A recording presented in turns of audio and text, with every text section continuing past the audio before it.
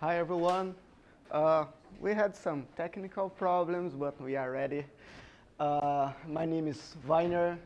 Uh, I work for Red Hat uh, in the virtualization team for a while now. This presentation uh, was actually uh, proposed and most of the slides were made by Treva Williams, who is the technical manager on the Open Infrastructure Project Foundation, where the, the project is hosted, but she could not make it here, so she asked me if I could be presenting it. Uh, I'm engaged in the project that I will be talking about, Kata containers, uh, since more or less uh, 2020. Uh, and basically, I'll be talking about Kata containers, and this is the, the mantra of uh, the project. It's like the speed of containers, the security of VMs. Uh, this is what we, we are seeking uh, in this project. Okay, uh, a little bit of uh, the history. Um, well, the, the, the, the, project actually uh, began in 2015 when Intel launches clear containers. I don't know if many of you remember of that project. Uh, and then in 2017, it was uh, merged with other projects, uh, and now it's uh, under the umbrella of the OpenShift Foundation.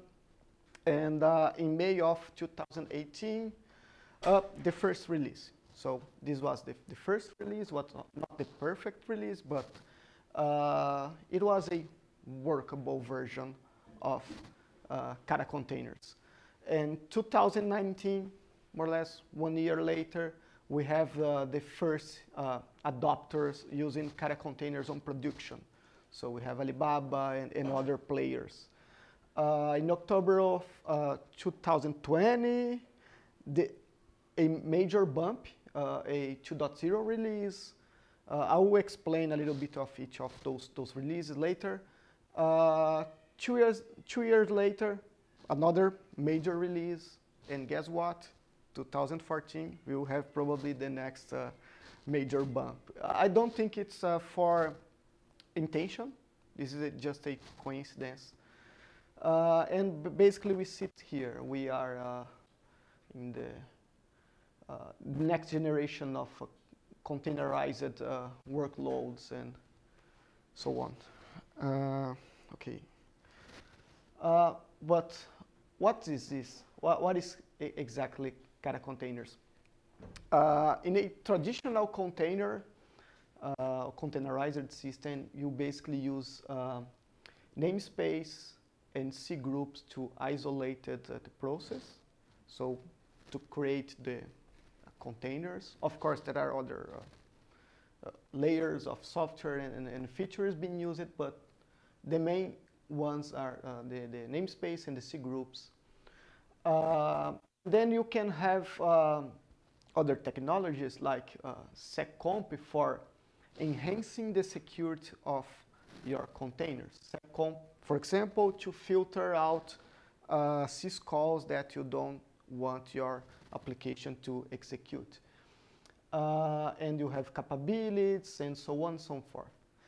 The thing is, uh, if your workload, the application finds a hole, he can, in, in the, for example, container B, he can uh, escape and have access to uh, the container A, even, even have access to, to the host kernel. So this is the worm basically going from one container to another. Uh, in, in order to, to solve that, not, not exactly solve that problem, but uh, add a new layer of security for, uh, uh for containers, we have uh, Kata containers with, with approach which is basically your container is now isolated within a VM. So it's running inside a VM uh, and you have this now this layer between the host kernel and your application. Even if your application uh, is able to escape from the namespace, for example, uh, it's going to have uh, access only for with, uh, access to the guest Linux kernel, not the host. So this is basically what Kata containers is. Uh, moving on, uh, when I joined the project, we used to integrate Kata containers with uh, Docker, for example, so you would be able to like Docker dash dash runtime and then spawn a container uh, in Kata containers. We, we, dropped the support and nowadays we have the support only with uh, Kubernetes. So this is basically a chart that shows the, uh, how uh, the container is initialized uh, in Kubernetes. So uh, the first one on the top, you have uh, a container runtime interface by Kubernetes. You have, well, in this word, container runtimes may be many things. Uh, uh, but yeah, you have CRI-O and co containerd or nerdctl. And when uh, you need to spawn a container, you're gonna, one of those uh, container runtimes, they are going to run, for example, runc or crun, depends on how you configure your environment. But basically, runc is in charge of actually uh, running the container or starting the container, provi pro providing the environment for, for the conta con container, and uh, um, managing the life cycle of, of the container. Uh, with the Kata, this is the, the workflow with Kata containers. Basically, it sits between uh, the container runtime and uh, the container within the VM. So uh, now CRI-O and containerd, they are uh, calling the, the kata runtime, and the kata, kata uh, runtime is in charge of uh, creating the VM, spawning the, the, the, the, the container process inside the VM, and so on. Uh, it's important to say that you don't need to change your application, right? The same application that you have, don't need like recompile or something like that. It's uh, seamless, it works. You just need to change a, uh, a property in your configuration file when you're going to deploy your application on the, on the cluster, and it's going to automa automatically work for you.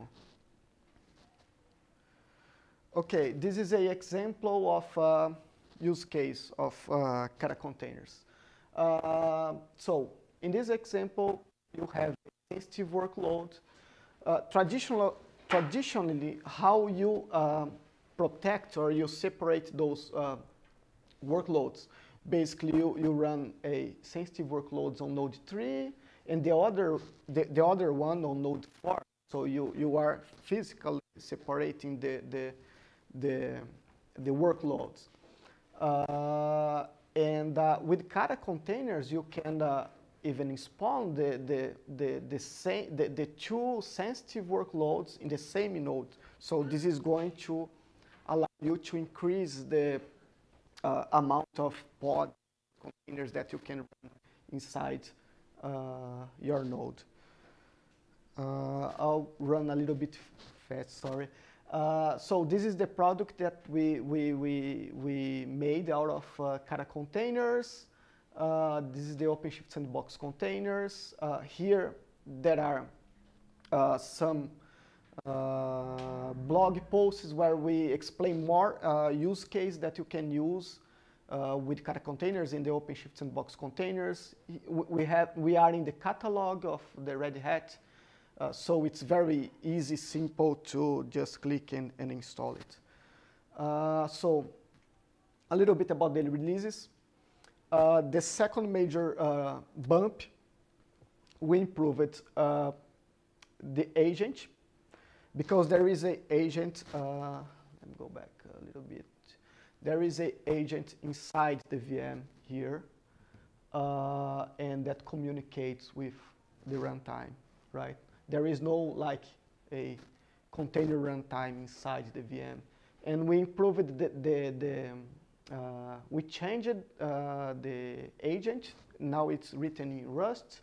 We changed the protocol. So uh, just to uh, load the amount of uh, memory that we, we use on the VM because it's a concern, right? This uh, overhead that you, you're gonna have in, in the system. Right? So uh, virtio-fs is now the standard uh, uh, shared file system because basically uh, on Kata containers, the, the, the, container image is not pulled inside the VM. Uh, it's not even Kata who is res responsible for, for that. It's the CRI-O and, and the, upper, the upper layers. So uh, we share the container uh, file system with the VM now using the using virtio-fs. Uh, that was the first time that we used it so, and then we improved uh, uh, some stuffs for security. We introduced the support for Cloud Hypervisor. Kata uh, uh, supports Cloud Hypervisor, Firecracker, and QEMU as the virtual machine monitors, so to spawn the, the KVM VMs.